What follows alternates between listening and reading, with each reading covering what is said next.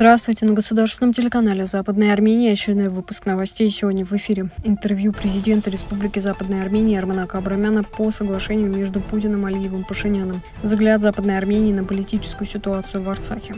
Экспорты ООН призвали вывести из Карабаха всех иностранных наемников. Должно быть сохранено право Арцаха на самоопределение. Брэд Шерман об условиях прекращения войны. Возможное размещение турецких миротворцев в Карабахе может привести к новой войне в регионе. МИД Канады. Мы продолжаем поддерживать армянский народ, с которым нас объединяют крепкие связи. В эфире государственного телевидения Западной Армении президент Республики Западная Армения Арменак Абрамян коснулся реальности нового трехстороннего соглашения Путин-Алиев-Пашинян и его последствий, отметив содержащиеся в документе пункты, которые нанесут армянам значительный ущерб. Президент также рассказал о возможности удержания Карвачара, опасности коридора, предусмотренного в Сюнике, что может создать реальные предпосылки для реализации микропантюркизма. Подписанное премьер-министром Пашиняном прекращение огня с президентом Алиевым и президентом Путиным 11 числа без официального участия Франции и США сопредседатели Минской группы ОБСЕ включает в себя следующие пункты. Первое. Российская армия будет находиться в Арцахе. Вторая. Добровольческие вооруженные силы Армении должны уйти, но пока что остаются. Третье. В настоящее время в этом районе нет столкновений, что позволяет избежать конфронтации с российскими миротворцами. Четвертое. Согласно статье 6, премьер-министр Республики Армения Пашинян должен 15 ноября передать Кровачарский район Азербайджану. Армения не имеет ни власти, ни права. По закону этот регион не принадлежит Республике Армения. Политические последствия этого акта будут катастрофическими для Республики Армения и ее властей. Западная Армения уже высказалась против этой статьи в рамках нерушимости своих границ. Пятое. Тоже касается Лачинского Бердзорского района, статья 6. Шестое. Вопрос о связи Нахичевана с Азербайджаном через территорию Мегри остается вопросом внутренней политики Армении национального суверенитета. Он должен быть обсужден, ратифицирован парламентом. Седьмое. Республика Армения не имеет ни права, ни власти передавать Агдам Азербайджану 20 ноября этот регион ей не принадлежит. Статья 2. Восьмое. Настоящее прекращение огня и его поправки никоим образом не соответствуют национальной конституции Республики Арцах. На практике эти решения ставят под сомнение существование фактического государства Республики Арцах и ее власти. Следовательно, а. Западная Армения отменяет все решения Республики Армения, направленные на изменение территориального положения в Арцахе. Западная Армения объявляет оккупированными территории все регионы, которые в настоящее время находятся под контролем турецко-азербайджанской армии. Западная Армения осуждает все военные преступления, этнические чистки, направленные на истребление армянского гражданского населения в Арцахе. Потребует возмещения ущерба от Турции и Азербайджана в соответствии с международным правом Гаагской конвенции. Все решения, принятые без согласия армянского населения Арцаха, являются недействительными. Они ставят под сомнение сам принцип права армянского народа на самоопределение.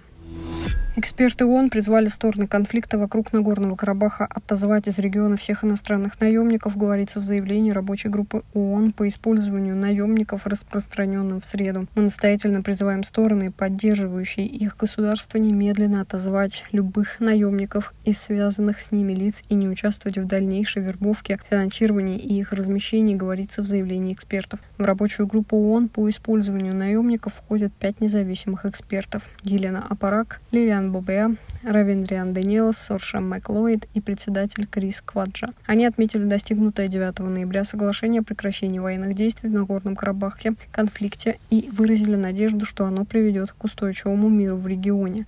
При этом они выразили обеспокоенность использованием наемников в зоне конфликта и вокруг нее. В частности, по информации рабочей группы ООН, правительство Азербайджана при содействии Турции полагается на сирийских боевиков для поддержки и продолжения военных операций в зоне Нагорного Карабаха, в том числе и на линии фронта.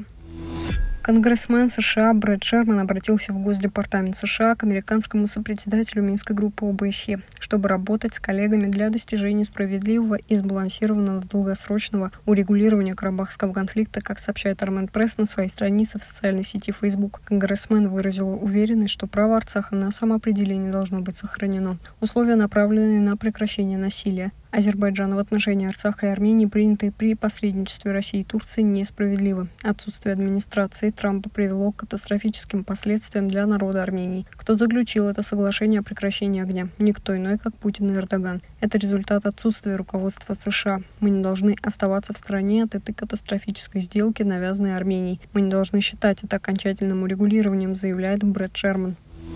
Возможное размещение турецких миротворцев в Нагорном Карабахе может привести к новой региональной войне, сообщает BulgarianMilitary.com со ссылкой на президента Турции Раджеп Тайп Эрдогана, заявившего, что Турция, как и Россия, может принять участие в мирном процессе в Нагорном Карабахе. Согласно источнику, турецкий лидер сообщил, что переговоры между Россией и Турцией ведутся на уровне министров иностранных дел и что российская делегация в ближайшее время отправится в Турцию для их продолжения. Военные аналитики и политологи называют возможное участие Турции в мирном процессе очень рискованным в контексте обеспечения желаемой стабильности в Нагорно-Карабахском регионе. По их мнению, это может привести к низкому уровню стабильности в регионе и будущим боевым действиям.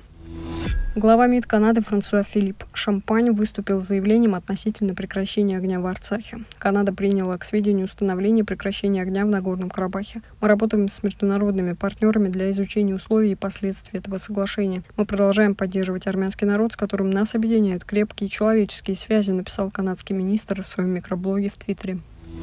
На сегодня у нас все. Далее мы представим вашему вниманию Карин ансамбль Керти.